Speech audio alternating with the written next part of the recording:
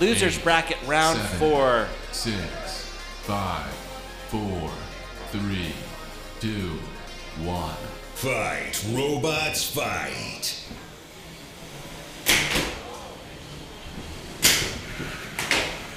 All right, we got Kyle back.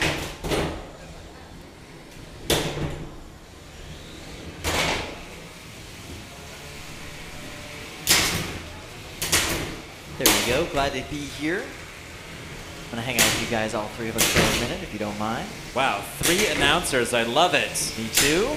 So Adrift and Fragment both have had kind of a mixed record so far throughout the day. Adrift's first match was just a brutal win, and then they got all sawed up by Samurai. Fragment, They decided to load these two bots into box one just because the floor hadn't had quite enough. no, no, of Fragment. Fragment's been very bad for this floor all day. In fact, quite a bit of that damage can be traced right back to Fragment's fights.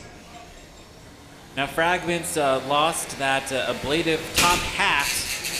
And, uh, oh, big hit from Adrift. Oh, wow.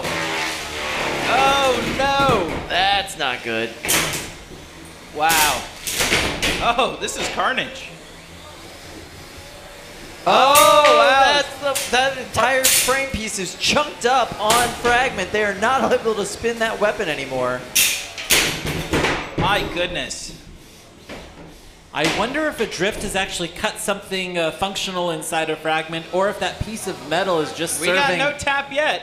It's a little bit of both. Ah, and there, there it it is. You There's predicted it before out. it It happened, is. Chris. wow. All right, and Adrift is your winner. Adrift dominated that fight. That was very well done. Congratulations to them. They It- move on in the loser's bracket. Fragment, you had a good day. It looks